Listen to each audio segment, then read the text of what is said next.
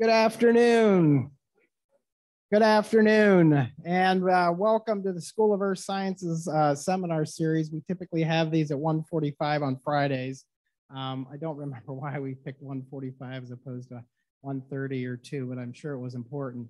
Um, uh, yesterday, I had the pleasure of doing the introduction, and today I'm going to uh, turn it over to Professor Joachim, uh, Moortgat, who actually is the uh, chairperson for the Bownocker Selection Committee. And I, I want to give him a round of applause for doing such a wonderful job uh, with this year's event.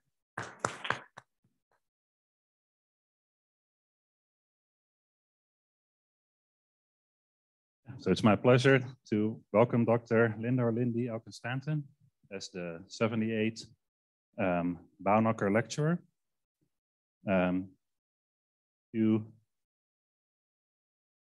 so this is a lecture series um, that's been going on for um, about 80 years, I guess, named after John Adams Bownocker, who was the um, state, Ohio State, sorry, chair of Ohio State Department of Geology uh, and created the first um, full geological map of our state that apparently uh, was the reference until only a couple of years ago. Uh, we're also lucky that um, in his testament, he basically left a big endowment for this lecture series. Um, so we've had um, a long list of eminent speakers um, going way back to 1937. Um, here's just a couple of them that we picked out. I'm stealing these slides from uh, Stephen Lauer yesterday. So one of the earliest speakers, uh, Urey was the discoverer of deuterium, Nobel Prize laureate.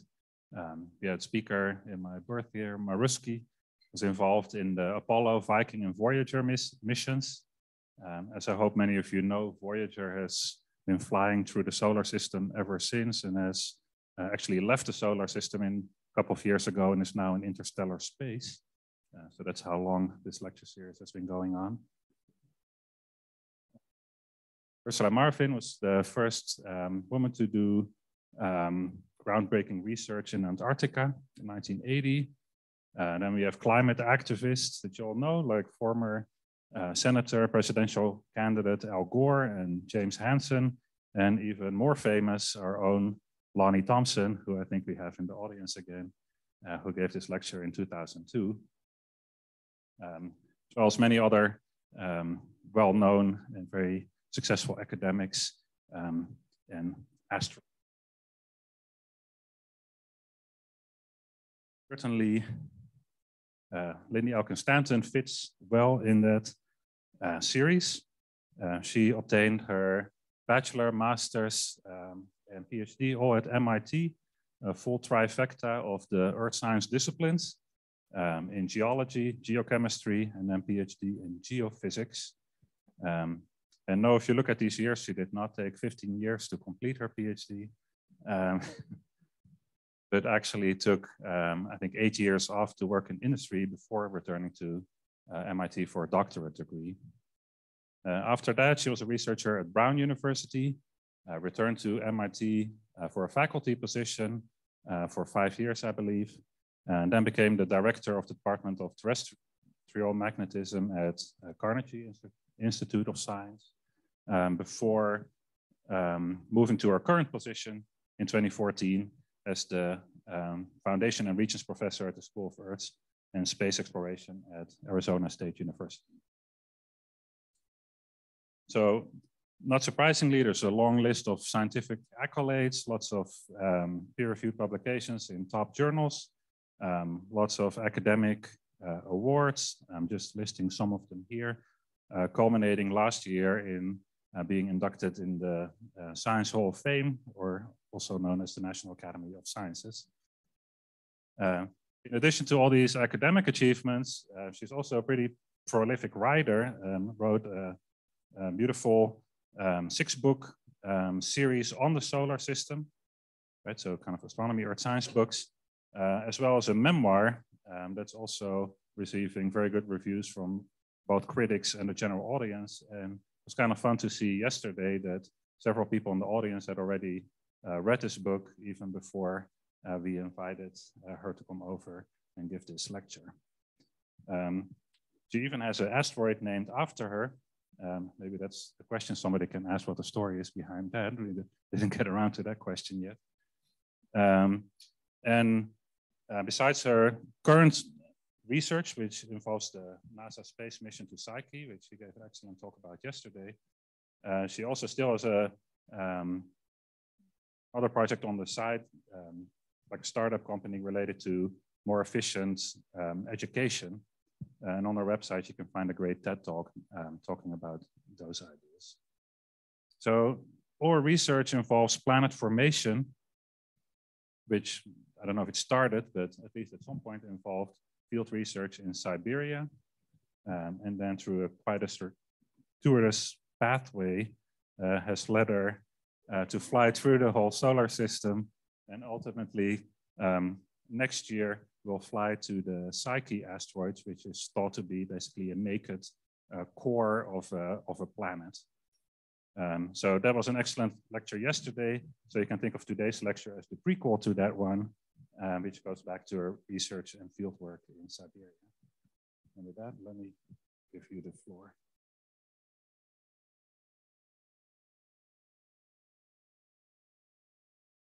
You can hear me okay? Excellent.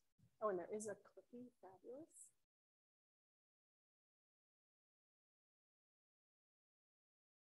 Well, thanks very much for coming, everybody. It was super fun to talk about this stuff, and it's just been a great visit here and really lovely honor, um, like a nice lift in a tough year with the mission slipping its launch and all kinds of uh, drama around that. It was just really lovely to be invited here to do this and, and get this medal and meet you all.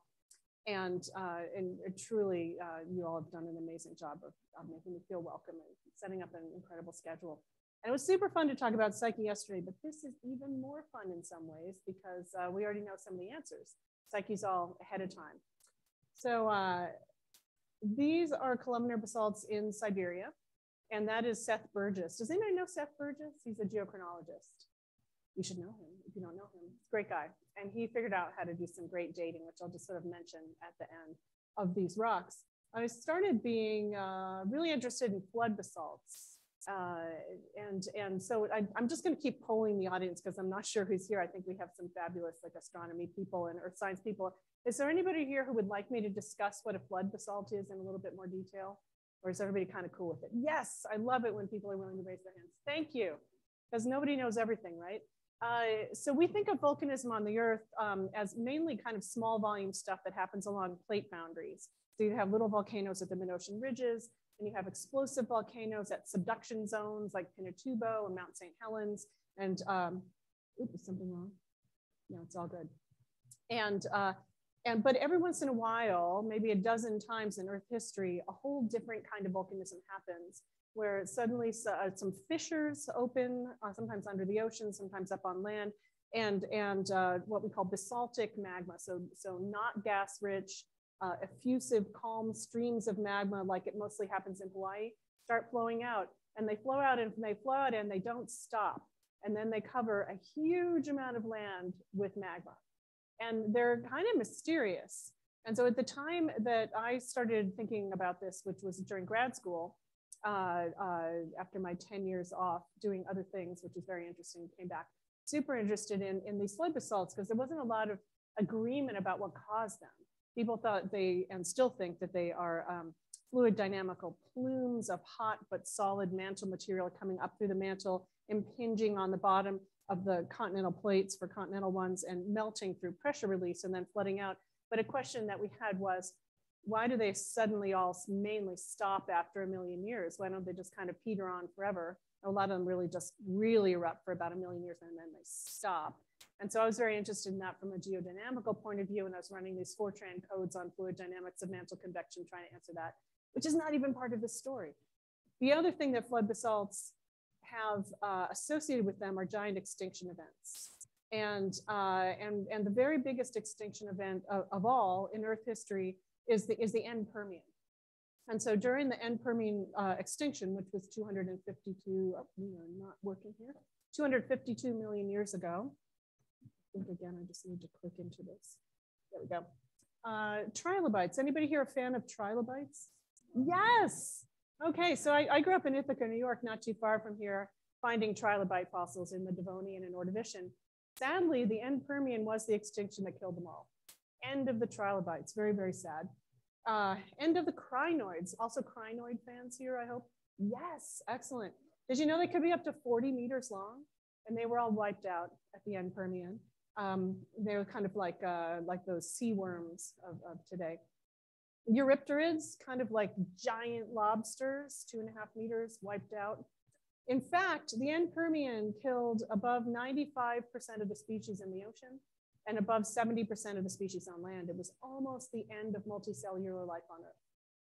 And uh, so when I started studying this, um, there are lots of people have worked on both the end Permian and the Siberian flood basalts. And I'm sure that people in this room have worked on these problems. They're big problems and very compelling and interesting to work on. Um, but I was quite mystified about how we could have the biggest ever continental flood basalt, the Siberian flood basalts, the biggest ever Earth extinction, the end Permian, seemingly, but not absolutely proven to happen at the same time, but with no agreed upon causal mechanism. And so I thought, here's a problem that's really worth trying to figure out. And so uh, wrote, I, I, when I was, was a postdoc, I started organizing this team of people and um, maybe some of you know Leonard Johnson at NSF and his program Continental Dynamics. Really great visionary guy. And, um, and he helped us out um, with a little bit of seed funding and then he ended up funding this in the end. So we had um, uh, 30 scientists from eight different countries trying to look at this from all different angles. And, and, uh, and one of my big challenges, which remains in every group project I've ever worked on, is how do you prevent the individual members for taking their little slice of the pie and running back to their lab and doing what they were going to do before you ever talked to them anyway? Um, how do you get them to really synergize together? And this is a big thing in the, in the Byrd Center. Obviously, you need to get many disciplines working together. So I was, I don't know, 70 or 80% successful on this project. But that's kind of the background of it. We're trying to solve this multidisciplinary problem. And so what about the volcanism? So uh, these are just representative scaled boxes of the volume of some famous volcanic events. So here's Mount St. Helens down at the bottom. And I know as time goes on, there are fewer and fewer people in the room who really remember that consciously from their own lives. But I know there's some of us here. I know it was such a big deal, you guys, seriously. So, uh, but Dini, Weenie, right? So Iceland in 1783, the Laki eruption. Anybody know about Laki? I know some of you do. So Laki, uh, a fissure eruption, so a similar kind of eruption, but not a flood basalt, um, released fascinatingly a tremendous amount of fluorine. Fluorine, super, super toxic. Have you heard of the fluorine martyrs?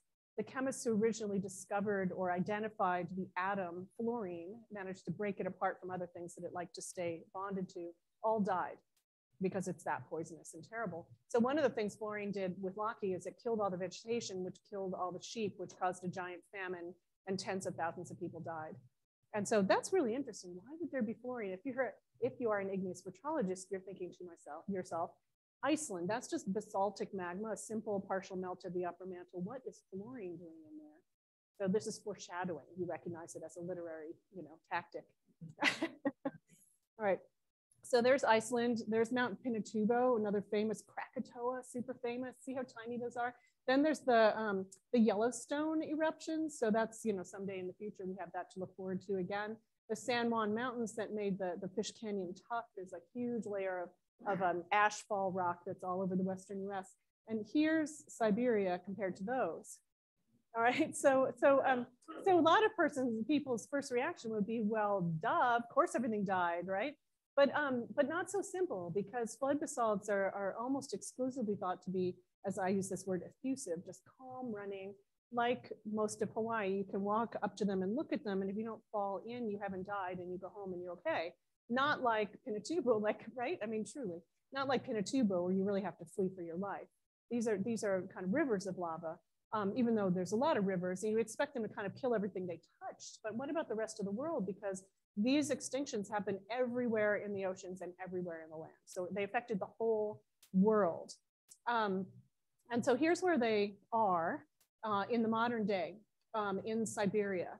And, and you can see, um, see the little uh, crescent of Lake Baikal down there, just above Mongolia. And then up at the top under the blue, there's a little peninsula. That's the Taimyr Peninsula where a lot of frozen mammoths come from.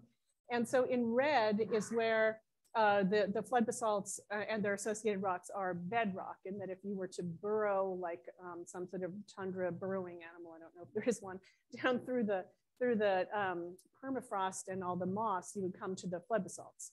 And then where in the blue is where they're covered by younger rocks, but you can get them by drill cores. And, and the Soviet Union had one of the most extensive, maybe the most extensive geological field program in the history of the world.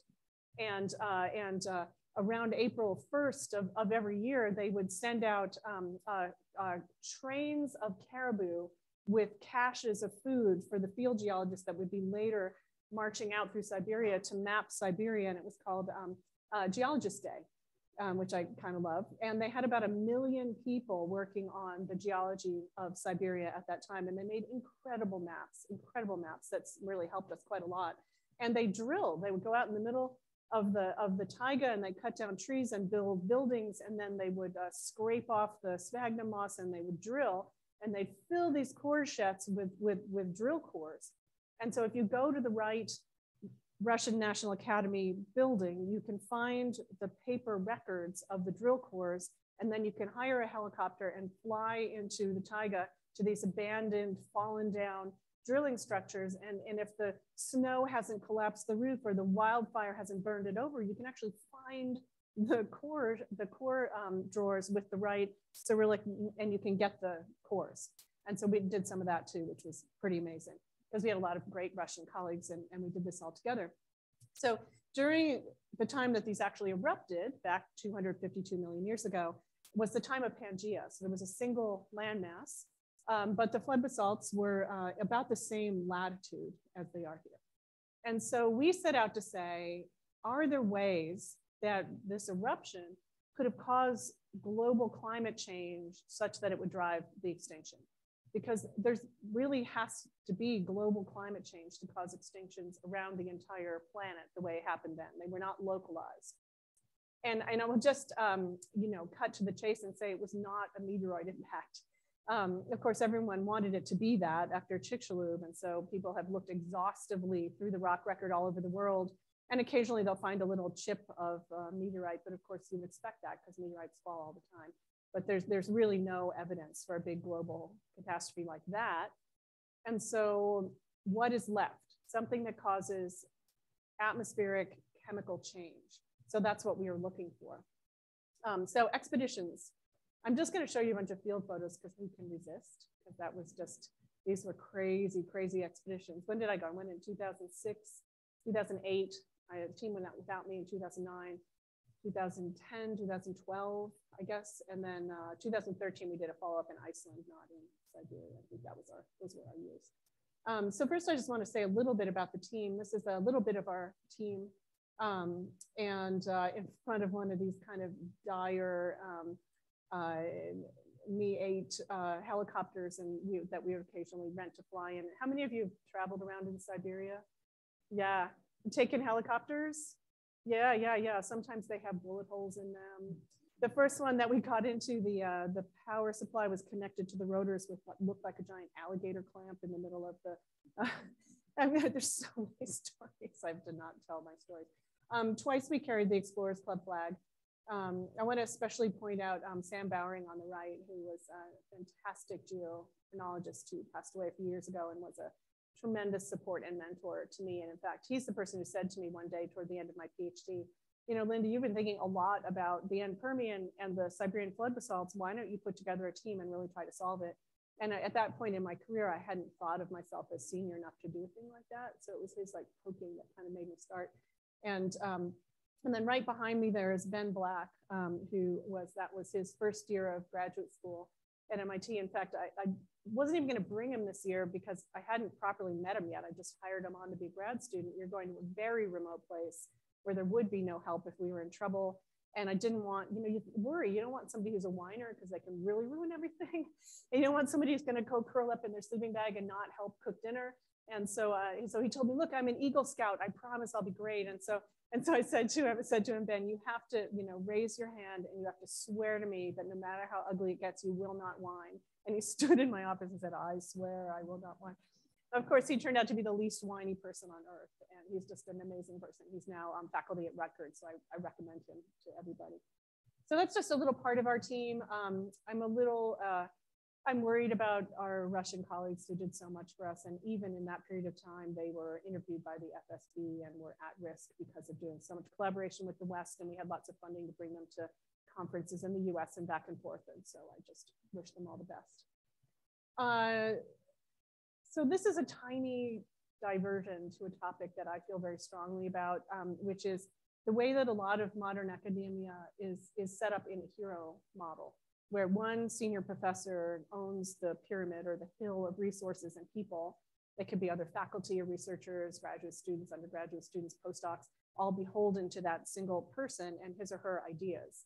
Now, this is not inherently a bad model, and I'm not attacking anybody there's many ways that that's been fabulous and continues to be fabulous and it's been great for a thousand years and it's gotten us to where we are but it has certain inherent flaws that i think it's important to consider and uh, and so one of them is that we tend to make scientific progress by carving out little bits of real estate around our mountains until our mountains run into our neighbor's mountain and then we stop because we're going to fight.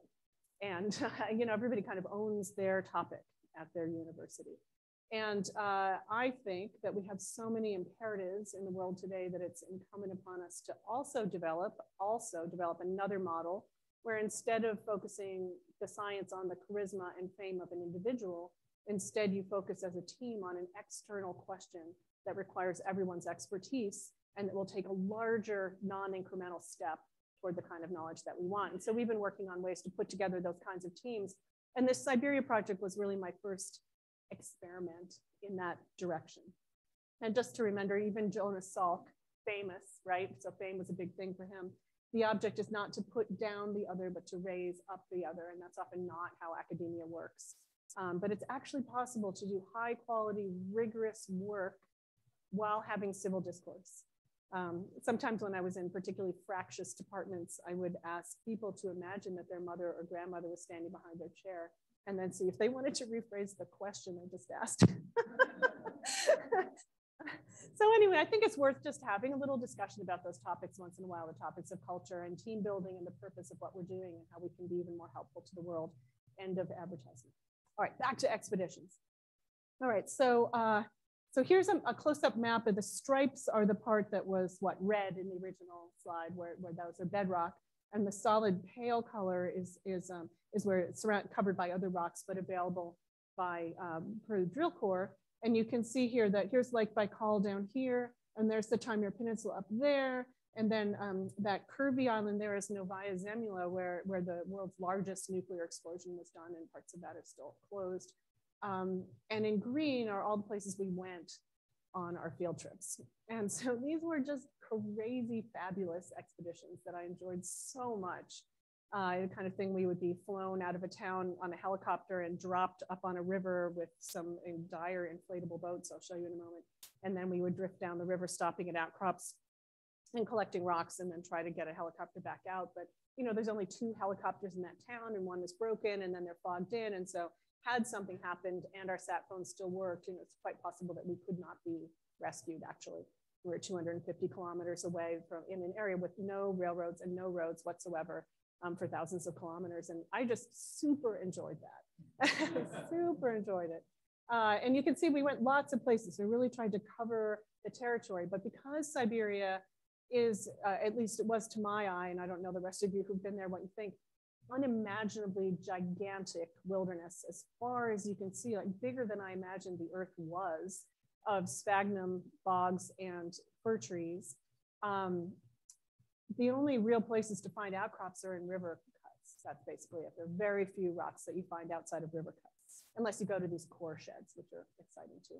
And so I, I took uh, advanced uh, Russian language while I was postdoc at, at Brown University with all of these uh, Slavic language majors who already spoke the language and would just look at me and roll their eyes while I tried to learn how to say Здравствуйте and so that I could have little conversations with people and read the signs and stuff. So it was just a big adventure from all sides. So here the helicopters dropped us and we've unloaded our stuff and we're lying on it so that the rotor wash doesn't blow it away while the helicopter takes off. We're very lucky with our helicopter and our boat captains nobody was drunk. And because that is seriously a very, very big risk in Russia. Um, and in fact, uh, um, Sam Bowring had had an adventure where they got in one of these giant mining trucks, you know, the kind with the wheels that are taller than you and they can just go across country wherever they want. And he had to go with the stream of people across a series of river crossings. And every time they came up to the river crossing, the driver would get out and look at the river and see where the road went. And then they would take a shot of vodka for good luck. And then they would drive across the river. And so by the fifth river crossing, they missed the road and the, and the boat started, and the, the truck started floating away and sinking and they had to pop out the emergency hatch, which thank God did pop out. And then they had to swim through the icy, icy Arctic River to get to the side of the river and try to start a fire and find a person. And so, I mean, you can easily die, sadly, but nobody did. Everybody's good. So that's why it's still funny to talk about because it was all right. All right. So this is also like a little advertisement of something that I that just I loved more than anything. So you fly up to the, uh, the Arctic inlet at the base of the Taimyr Peninsula to this little town named Khatanga. And um, we flew out of um, Vnukovo Airport in, in, in Moscow.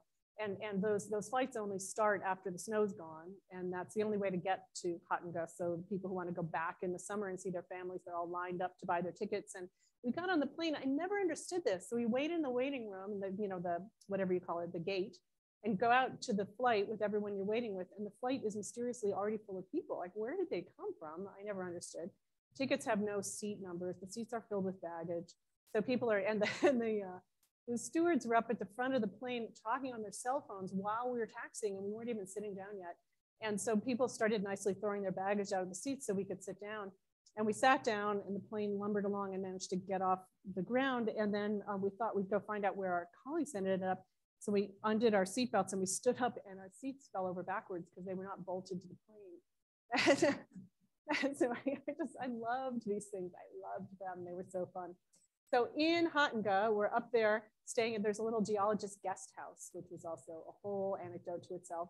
And um, we had to wait a few days because some selfish, selfish mammoth hunters had gotten there first and taken the helicopter. And so we had to wait for the helicopter to come back from their drop off before we could have our drop off. So our nice friends were trying to give us tours of interesting things.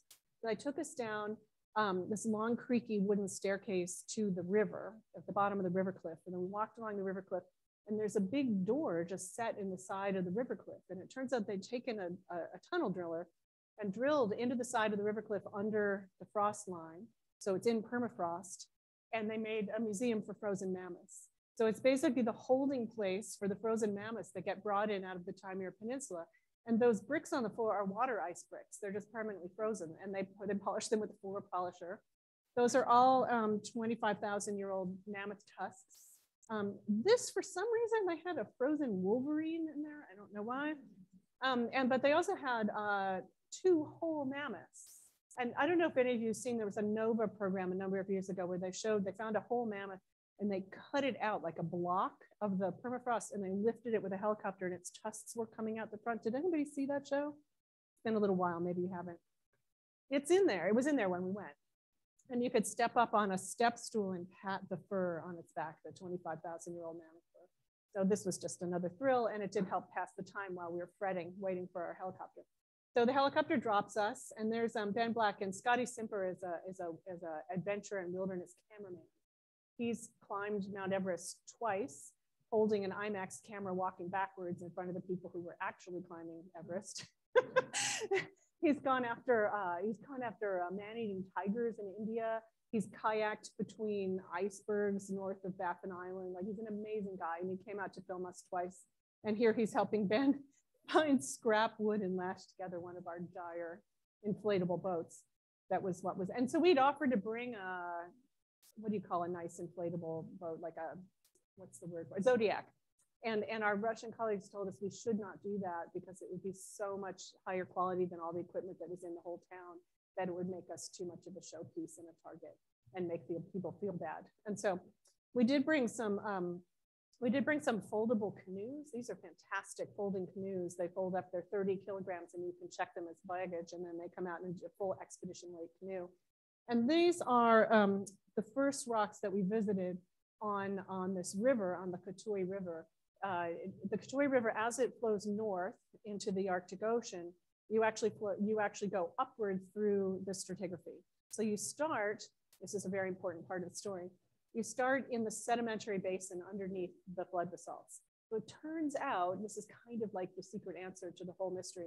It turns out that, the, that where the Siberian flood basalts erupted is the site of an evaporite basin where there had been a very large inland sea that evaporated and left behind it all the things that happen, right? When all the things that happen when you when you evaporate the ocean. And so that the bottom is limestone. So these are huge limestone spires.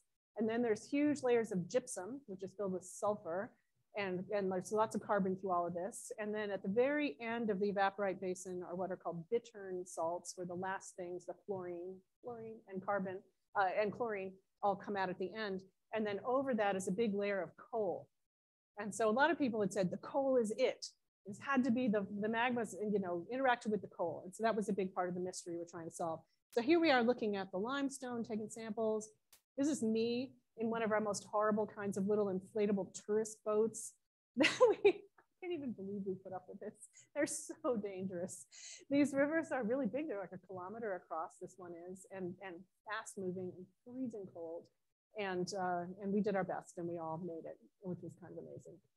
And so uh, there we are camping by the Kotuy River. It's just so beautiful uh, to be out there with nobody. That's my tent. I love that tent. Don't you get to love your tent when you're camping or else you hate it? It's one or the other. Right? You love it forever or you hate it completely. There were mosquitoes. Um, these mosquitoes that we encountered on our various trips were pretty slow moving. And actually their biggest um, downside was that they would fly into your mouth and kind of choke you while you were walking.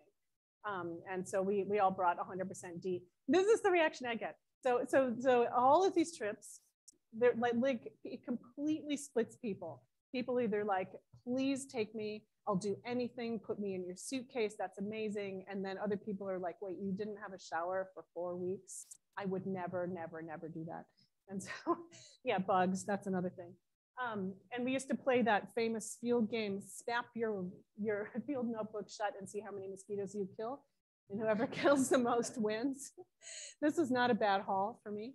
Um, so that's one of those Rite in the Rain notebooks. Um, this is how we cooked in the Russian field fashion, uh, just in pots. And so in the morning, we would make oatmeal or grechka, like a cracked wheat, and we would um, put dried fruit and stuff in. Sweetened condensed milk is a big part of it, and tea. And then there was no lunch. And then 12 hours later, because of course it's 24 hours a day light, then we would bring the same pot out scoop up the river and make pasta or grechka and pour in like ketchup and canned meat. And for those of you who've been in Siberia, did you eat those cans of miasa? Yeah. they have a cartoon picture of a cow on the front, but you really don't know what's inside. And miasa just means meat. And so, so there were a lot of culinary adventures as well. But again, everyone was fine. And so here's a picture of the condensed, sweetened condensed milk, which goes in the tea and everything that you eat. And so, so there was one other woman on this trip, a, a brand new graduate student, Anya, and she comes by and she looks at me regarding this can and she says, it's just a mosquito. Like, what is the problem? Like, I don't care about the mosquito. It's the anaerobic mold on the lid that's causing me, you know, concern. And she, she, she swipes her finger across it and slurps it off and go, is normal. And so so then we got over ourselves and, and ate it. It was all, everything was fine. Um, so, so, um, so here was a moment, you can see how happy I'm looking and you can see the steepness and the instability of the melting permafrost shedding off kind of river cliff that we climbed up to get to this place. But this is the interface um, between, uh, between the coal down here and the flood basalts up above. So that was a place where I could put my hand on the very first lava flow of the Siberian flood basalts. And it was super exciting. Um, and, and if you look back down, this is the, can you see that's the canoe right there, the little red thing. Um, and so this was really hairy. Like you're, you're walking up these hills and uh, because the permafrost is melting and it's landsliding every night, huge landslides where all that you have to sleep on on the, um, the inside of the curves because on the outside, all the trees come down every night from permafrost melting and you're kind of sinking in up to your knee in melted permafrost like foam, hoping that it's not gonna landslide with you. That was probably foolish, but like a lot of us in geology, like we didn't have hard hats. I don't know, like we just, bad, bad people, but we were fine. We got lots of samples. And we got to go to a place called the Guli, which I don't know if anyone here would have would have uh, would recognize that the Guli province it's an area of carbonatite magmatism. where the lavas that erupted were liquid, literally liquid limestone, CaCO2. And um, I think we were the first Westerners ever to visit it. It was discovered by Gulag prisoners in 1929 who went there on caribou trains in the winter. Um, and, because, and it's been mined a number of times because there's amazing mineralogy there. And so this was a long, long hike to a particular kind of um, rocks called, called, called mimikites or mimichites. And if you've heard of them, then you'll go, wow, because they're so cool for people who study igneous petrology. They're really obscure. They're very hard to get to. So for those of you who are into it, it was amazing. I was very tired. We, we hiked about nine kilometers over rivers and across and up, and then we finally got there. From the air, the outside of the Guli province is a big circle, like 50 kilometers across, completely without plant life because it's, it's pure olivine. And the magnesium in the olivine is toxic to plants. So you can see it from the air where you're going. And the ground, that's my foot on the left, um, in parts of it is just paved with the, with the, with the mica phlogopite. Phlogopite is a kind of mica that is stabilized by fluorine. Amazing, isn't it?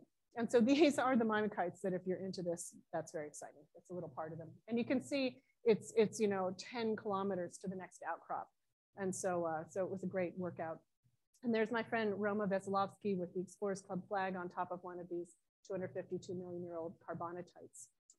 And here's me and, and another Russian colleague also with our hands on the, on the interface between the coal on the bottom and the, and the basaltic magmas on top. That was like the moment of the eruption.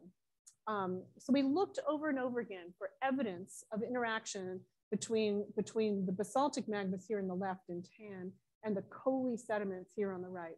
We looked for um, baked margins. And there's a big team out of Oslo and a team out of France that were working on baking what happened when you have magma intrude and just bake the sediments. And they did big calculations of what could be given off by that. So that was Sverre Planke um, and uh, Henrik Svensen and uh, Nick Arndt and his group all did a lot of that work. And we found relatively little evidence for that. So that was disappointing. Here's Seth Burgess next to the top of the limestone and all the rest of that is gypsum filled with sulfur. So I think you're seeing where I'm going. The magmas are interacting with all of these things that have the opportunity to turn into toxic volatiles. That's where we're going with this. But here's the thing that I personally was most excited about for the whole project. And that was that there had been reports, um, like a side sentence in a paper, and um, evidence in the maps, uh, the, the Siberian bedrock maps, that there was a lot of explosive volcanism before the lava started coming out, something that's not very common in flood basalts. And so these would be um, these would be rocks called called tuffs, sort of airfall ashes, or phreatomagmatism, which is when the magma interacts with um, fluids under the surface or on the surface and explodes into ash and creates rocks that way. And uh, we kept looking for them and looking for them. There are no papers on them in, in, until ours in the English language literature. And, and they were not easy to find on the map because the map is a bedrock map. So you knew that if you could burrow 50 meters through, through rock, you'd find them. But where could we find them on the surface? So this was the first time I saw them. See that outcrop and how it's weathered like chevrons? That is uh, almost always a tuff. And so I looked at that and I'm like, whoa, that is explosive. Look how big it is. And we were on our way back in a helicopter on a long trip and we could not stop and there wasn't enough fuel. And I was like, wait, wait, that's what I want more than anything. And it took, it took us uh, um, five years to get back to this place on the Angara River. And what we found on the Angara River, north of Ust-Ilimsk, um, for about uh, 200 or 250 kilometers, a long, long part of the Angara River. Every single cliff is from explosive um, volcanism, from the level of the water to the erosive boundary at the top, sometimes 150 meters. And in the drill cores reported by the Soviets, there are places where it's 600 meters thick. So this is probably thicker and a larger province of explosive volcanism than anywhere else on Earth that's ever been found. So now we're beginning to get somewhere. You're trying to make global climate change. You need something that is going to push the gases above the tropopause into the stratosphere so they can go around the entire Earth. Otherwise, if the volcanic eruptions are just local, they'll hurt things that are downwind, but they won't change the climate of the entire Earth. But now we found what might be the biggest explosive volcanic province in the world. And uh, you, you, those of you who are into this might be interested to know that all of these have the bulk composition of basalt, meaning that they don't really look like an arc volcanic. They look more like the same as Hawaii, but somehow they had a tremendous quantity of volatiles to drive them. Where did those volatiles come from? Well, you could guess they came from the evaporite basin. So there I am on one of these cliffs of uh, all volcaniclastics. Um, here's another one, so beautiful. Uh, here's another one. They were just like this, 250 kilometers. Those little circles up there are ashfall lapilli, if, if any of you know what that is. You know how a hailstone in a thunderstorm ends up, if you break it open, it looks like an onion. It has many layers of ice because it's gone up and down in the thundercloud collecting ice. The same thing happens in giant ash-filled explosion clouds from volcanoes, but they make layers of ash instead, and then they fall down like pebbles, and that's what those are. So we knew there were huge explosive um, uh, ash-filled clouds. And then uh, here's Ben pointing out um, that wedge-shaped rock is a, is a specular sandstone that we knew come from, came from much further down underground in the evaporite basin and apparently been exploded out and then landed in this unstable, you know, it wasn't moved there by, by water, it just like clunk and landed in this unstable position um, within the ash. And so we're looking for evidence for how much explosivity there was. So this was something that we just published in 2020 and was kind of my last big thing here. As we're going through all of those um, volcaniclastic cliffs, I would find occasionally big chunks of charcoal. And I started thinking what else could be burnt in this volcaniclastic pile. And so we got together with Steve Grasby, um, who had found uh, burnt coal up uh, in, the, in the Canadian Arctic islands of the age of the Siberian flood basalts. And he published a paper saying these must have been coal burnt in Siberia and carried around by the winds and dropped in Canada. And that's a lovely hypothesis, but then we were like, we looked and looked and looked and we found no evidence of coal burning. Um, you know, the coals are right up near the surface, the lavas just sit on them like they never burned. But of course, they're hidden in the volcaniclastics. And so the burning happened underground and helped to throw those magmas up in giant explosive plumes. In the evaporite basin, there's not just all those rocks containing sulfur and carbon and fluorine and chlorine that I was talking about, but it was also a petrochemical basin and remains that way. So there's a huge amount of ground fluid down in the rocks that the magmas were coming through, filled with oils and then uh, interacting with layers of coal. And so those things combusted underground and caused these explosion pipes, which have been found, these huge eruptions of ash filled rock that covered that whole area that we found. And they're filled with pieces of burnt coal. And especially the ones up at the top right are the way that coal looks when it's burned at high temperature. In the current day, those are only found at high temperature modern coal burning plants. And they've almost never been found in the rock record and they're all through Siberia. All those places I marked in green, um, any place that there was a tuff, a volcaniclastic explosive rock, uh, it contained burnt coal. And so we found the evidence that that's what was happening. It was, it was being burned from underground. Uh, so it kind of looks like this. So here's all these organic rich units and the coal and the magma's coming up through and it's entraining the organic rich coal rock and, um, and, uh, and then exploding outward and it's also then putting a lot of C13 depleted chemistry into the atmosphere in a way that it's going to go around the whole world and perturb the global carbon cycle, um, which is absolutely uh, observed and has been seen for years. How do you make the, the um, isotopic weight of carbon go that low at this time? Well, this is a very good way to do it. So that was one exciting result. Um, and so there's also a really nice recent new comprehensive isotopic analysis of the end Permian, which um, Martine had nothing to do with, but it's just a nice paper if you're interested in these topics. Um, the other thing that Ben did was he looked at melt inclusions. And so, and so, um, so this is a photomicrograph of a bunch of different olivine grains and some other grains of minerals um, set in epoxy. This is epoxy. And then in each of these red circles is what's called a melt inclusion. So the, these, these minerals were forming in a magma underground. And as they were forming, they would trap little droplets of the melt in them. Because maybe you've been wondering yourself if this is not your field, how do you possibly know what the atmospheric chemistry change was 252 million years ago when the, the atmospheric chemicals necessarily by definition had left the magmas and gone into the atmosphere and are now gone.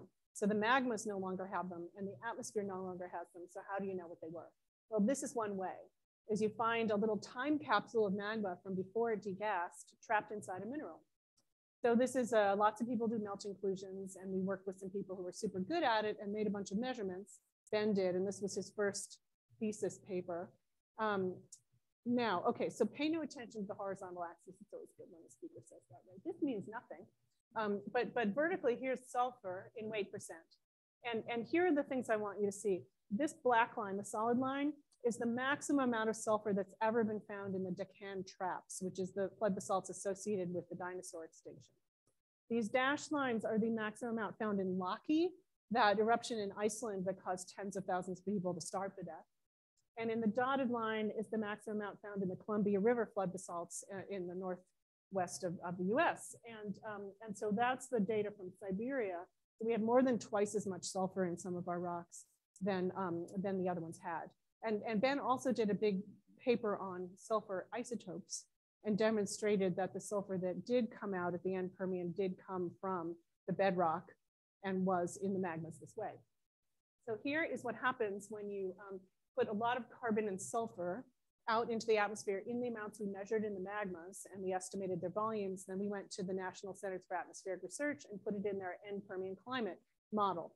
So the, the dashed lines here, this is a map of the world during the end Permian. The dashed lines are the edges of the landmass. The middle part is all ocean. Uh, the stars uh, are where there is evidence of mutated pollen, which is thought to have been caused by ozone loss and irradiation. And the red is where the Siberian flood basalts were. And so what happens when you put this much carbon and sulfur in is it comes out as, um, as ocean acidification. And so here's the annual average pH of rain in these latitudes um, uh, down to a pH of two. And so it caused a lot of the ocean water to end up as acid as lemon juice. Uh, so that is a major, major environmental catastrophe. Uh, also, lots and lots of chlorine. Here are those same maximums from other flood basalt provinces, um, 10 times as much in the Siberian flood basalts melt inclusions, chlorine. And my favorite, fluorine, uh, as much as two weight percent of fluorine in these melt inclusions. It's insane. It's like unprecedented for the kinds of magmas that it is. And they just scavenge it all from the evaporite basin. So what happens when you put chlorine, fluorine, carbon, and water in a hot uh, eruption plume? You actually make naturally occurring chlorofluorocarbons, something that many people never thought was possible. Some exoplanet people said if we find chlorofluorocarbons, it's, it's a sure sign of a technological um, um, uh, civilization, but no, it could just be a flood basalt on a world that has no humans yet. Uh, and so that was amazing to me. And it was the team in Oslo that first demonstrated this. They took cores out of the sedimentary basin, they heated them up the same way they would be in a plume, and they put a gas chromatograph and they measured the naturally occurring chlorofluorocarbons that were released. It was amazing work. So you take your chlorofluorocarbons and you put them into the um, atmospheric models, same map of the Earth, and uh, these are Do Dobson units, which is um, a fabulously obscure um, way to measure ozone. And, uh, and so it's, it's the amount of ozone above a, a, square meter in the atmosphere. If you condensed it down, how thick would it be? It's one of those things, how much, um, how much ozone is there. And so um, the minimum ozone that our modern ozone hole ever hit was someplace between 100 and 150. And in these models, the entire world had less ozone than that because of the Siberian flood basalt eruptions. So we've got super acid rain, we've got a lot of heating from CO2, and we have a complete destruction of the ozone um, layer in a sort of decadal um, rhythm of eruptions. And so uh, that seems like it would be enough to completely stress and collapse any ecosystem. And uh, so here's another picture of our team. And so, and so I want to just end by saying, to me, there were three legs to this stool we were trying to build in the project. One was um, what was the chemistry of the flood basalts? What could they have done to the world? And so that's the acid rain and CO2 and the ozone destruction. Then, then what would those have done? So you put them in the climate model to find out. And then the other one, the really important one that I haven't talked about is, did we actually prove that the eruptions happened before the extinction? Because if they just are coincidentally close, and when you did the really careful dating, it turned out the extinction came first, then all bets are off, and this apparently had no effect. Uh, so, so it turns out that, that dating these rocks is incredibly difficult because you really want a zircon with uranium and lead in it to do a really high precision age back 252 million years ago. And it took us five field seasons to find rocks that had zircons in them that could be dated. And Seth, meanwhile, is uh, fretting over being able to finish his PhD because he doesn't have any rocks yet. But he was perfecting the lab um, procedure at the time. And so, and so, and you know, as of um, five or 10 years ago, he had made um, by far the most precise uranium lead dates that had ever been made by humans. And he did, he redated the end Permian extinction boundary in China, and then he dated all of these rocks, and he got them to plus or minus, um, 20 to 30,000 years back 252 million years ago, and showed that 80% of the eruptions happened before the extinction happened, and then eruptions dribbled on. And so we think this is about as close to solving this mystery as you can get without the ability to go back and get much better samples. And, and like, how do you actually prove what killed a given kind of animal? How do you actually prove the way that the ecosystem collapsed? I don't think those things are actually possible. Um, so I think we took a really good positive step toward proving that the flood basalts caused the end Permian extinction. And, and unfortunately, also um, demonstrating that it was done with the exact same chemistry that we're using as humans today. And uh, that, of course, is the sort of dire warning. Not that we need dire warnings. We all understand what's happening. Data is not actually the point it right now. It's you know the emotional engagement to make change. And in fact, um, you know, we have all this film from this, and uh, and at first we thought the National Geographic was going to do a show about our project, and in the end they told us that even though it had uh, volcanoes and and field expeditions, the whole message was actually too depressing for them to make a show about. Isn't that ironic? Um, but what did happen was um, this became a part of, um, of, a, of, a, of, of, part of the Hall of Deep Time at the, at the Smithsonian Museum of Natural History. They have some of our data and a little film of us um, in, in the corner of that. So we are reaching people with the message. Um, although otherwise I say, I actually don't think that the message is really the way to make change right now. It's all of us who know that we need to be taking all of our steps toward having better carbon footprint. Um, and in the meantime, I hope what we've done is, is uh, the way for other big interdisciplinary projects and just help to put different kinds of data together. So thanks so much for coming today. I really appreciate it.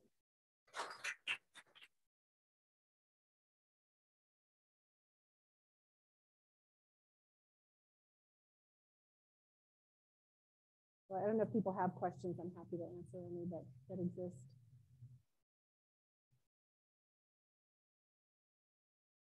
Is it too depressing?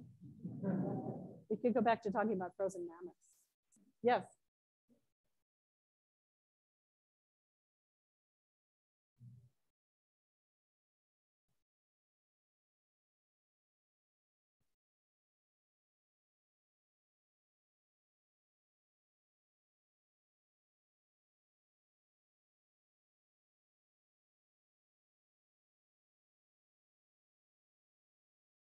That's really interesting. Yeah, I worry that um, that what's going to happen is that students won't be able to go anymore.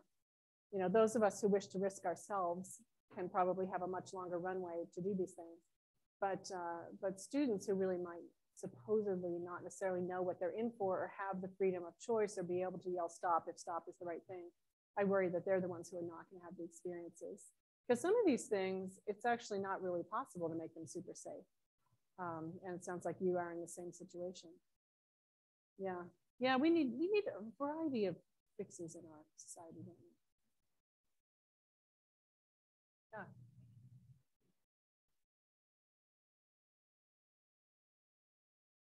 Um, they did not overlap very much. And so I started working on Psyche in 2011. And um, mostly by that time, the, a lot of the papers were out or they were in other people's labs to be done. And then Ben was doing a lot of independent work by then. Um, and he now has our whole sample, 400, our, our 400 sample collection, 450 kilograms of rocks that we brought back.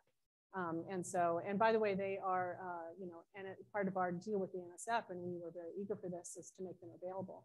So um, we have a huge suite of rocks from the Guli, and we have all the sedimentary rocks and all the volcaniclastics and all the lavas. Um, ben has them at Rutgers, so you can be in touch with him if you want to do work on the samples. Um, and so then, uh, I, and I think I had plenty of time to start working on Psyche after that, and then I just wrote that one cool paper. The, the bigger challenge with running missions is that you're kind of expected to have your full-time job at the university. And, and my job at ASU, I'm actually a vice president and I run a pan-university initiative about interdisciplinary work. And that's the thing that stresses me out is trying to do the right thing by that team and the right thing by the Psyche team. And so if universities want to do giant projects like space missions, I think the university should probably do the kindness of reminding the faculty member that they actually can't do two full-time jobs and the university supports them not to. My university is very supportive of me and I've been claiming I could do it right up till recently. And then I was like, no, actually, I really can't do all that. So that was the challenge. Yeah.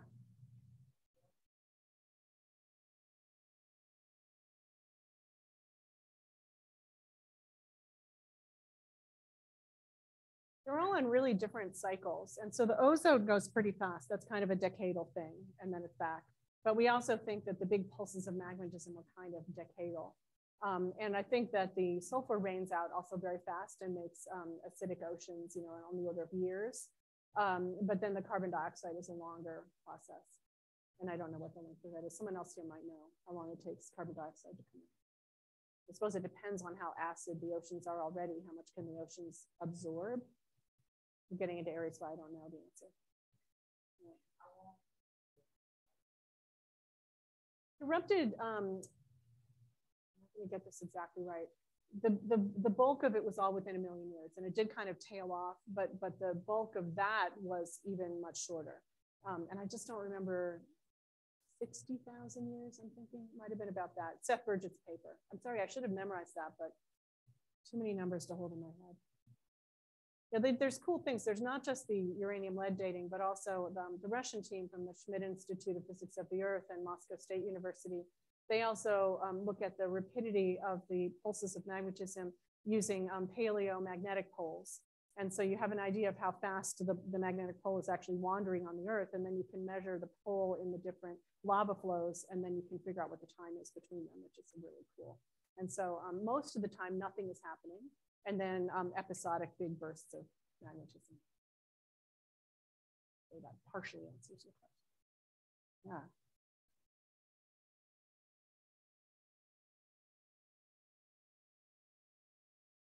Ah, you know, I think that there's really a lot, and um, and and the question that we sort of were asking ourselves were, are there any really really big steps that we, with our expertise, could make? Um, one thing that I find incredibly interesting is that we never found, and I never talked to a single Russian scientist who had ever found a site of eruption. Um, and so we assume these were fissure eruptions because that's what they seem to have been in other places. But nobody has found a river cut that goes through a thing that we're like, oh, that's an eruption site. Um, except for some of these pipe eruptions, these explosive pipes. And I got to go to some of those, and they're crazy places. Um, but in terms of the lavas, no sites of eruption. And there are almost no paleo soils to be found. Usually with these big flood basalts, there's a hiatus long enough to form a soil before the next layer comes out. And you can use those soils to find out all kinds of things about living creatures that are still around and the chemistry of the surface. We only found one paleosol in five field seasons. Um, so there, there are a bunch of areas to go into that I think would be really great.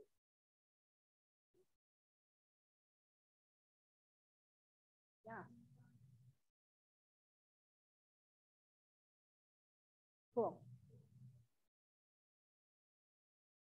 Yes. Thank you, Caitlin.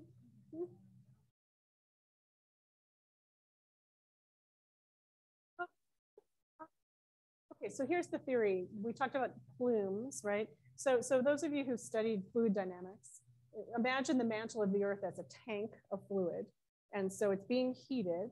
And what happens in fluid dynamics invariably is that there are boundary layers at the edges that are not really moving. They're kind of like a little thermal boundary layer at the top and the bottom. So those boundary layers build up as, hot, as they heat up and then waves appear in the top of them and those waves go unstable and suddenly the hot boundary layer material just drains upward in a, in a plume.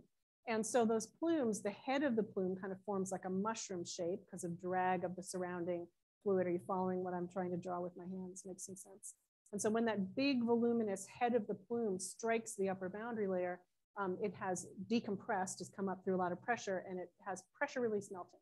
Because inside the Earth, all right, so this is a little diversion from the main story here with the plume and the plume tail. So if I give you rock here on the surface of the Earth and I say, please melt this rock, you would raise its temperature until it melted. But that's almost never how rocks melt inside the Earth.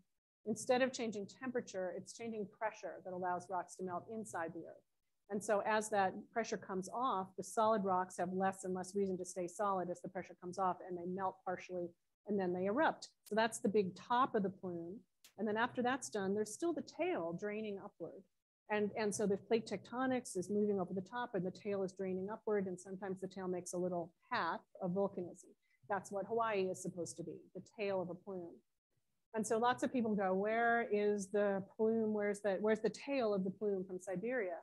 And um, the answer is there, I guess there are some ideas that it might be uh, a tiny, tiny spot that's now migrated across the North Pole to somewhere. um, but there's really no um, definitive thing that people can point at. And so just a final note on that. One, one of the things that I spent a lot of time doing was making dynamical models of, of the lithosphere, that is the solid plate of the earth after the plume has hit it and all the eruptions have happened. And so one of the things that happen is that magma goes up into the plate and some of it freezes rather than erupting. And the stuff that freezes creates a higher density plate that's also lower viscosity. It's more flowy because it's hot. And then the bottoms of the plate drip off. And it turns out those dense drips completely disrupt the rising plume and stop eruption. And so um, because we think that even during the end Permian, the plate, the lithosphere, under these Siberian flood basalts is very, very thick. I think that there isn't a plume tail. I think that all those drips happened and so disrupted the rising conduit that no more volcanism happened. So that's kind of a long, but hopefully not too confusing story. Did you have a question too? Favorite meal? Oh my gosh. Um, So, so uh, we had almost no fine Russian cuisine. Um, we almost never went to a restaurant, uh, and we were almost never in a town. And so it was a lot of like grechka with the and these and these the miasa, the cans of meat. I brought one home, and they let me bring it through customs, and I just kept it around because it cheered me up for a long time. And then it started to bulge, and I threw it up. Um, so, so, so you open up the miasa, and the top of it is a plate of lard and then under that, that is jelly and meat. And so, and so one time the, our Russian colleagues caught my colleague flipping the lard away into the river and they're like, no, into the pot. So all the part that went into the, so those were not my favorite meals, but you're starving to death and so you love them. So, so I have two little stories. One is um, we're up in Khatanga waiting in the geologist's guest house for the helicopter. And um, Volodya, our senior colleague, had gone out into the town to try to find us a snack and he found a place that was making um, pierogies and he was really excited. And there aren't really shops. There are individual people's houses that they would sell stuff out of the front bottom, you know, so you know that this house has eggs on Tuesday and that house has bread on Wednesday. One of the houses making pierogi and he brings it back in a bag and he takes it and he says, wait, let me taste it. And he tastes it. And then he looks at us and he goes, it can be eaten, but not with pleasure. that became my, my favorite quote of the whole thing. And so my actual, here's my actual favorite meal as I was saying, we would hike and, and collect samples for 12 hours and with no lunch, or we'd be on the boats going outcrop to outcrop for 12 hours. And finally, you know, our, our weak, us weak Americans went to the Russians and go like, we have to eat lunch, we're really hungry. And they're like, we have no lunch in our box of food. Um, but it turned out they had Snickers bars. And so, and so they would, they would sternly hand Anya, the graduate student, would sternly hand us each a sneakers. Snickers, Linda, Snickers, Brad. And we got one Snickers bar for lunch. And so it became this huge, like joyous moment for us that we would eat our Snickers bars. Years later, um, I was super sick. I had this terrible illness. And Sam Bowring, instead of calling me up or sending me a card, he just mailed me a bag of Snickers bars, which I mean, I just burst into tears. It was the best, the best. So Snickers are my favorite. Yeah.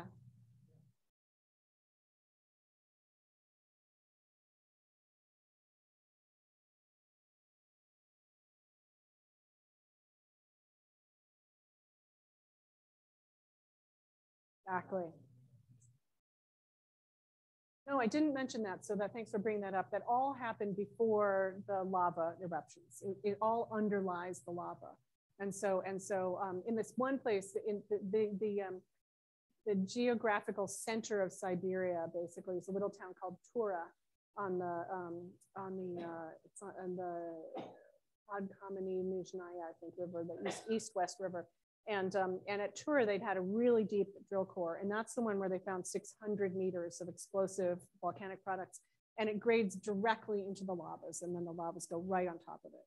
And so um, it was explosive first and then effusive.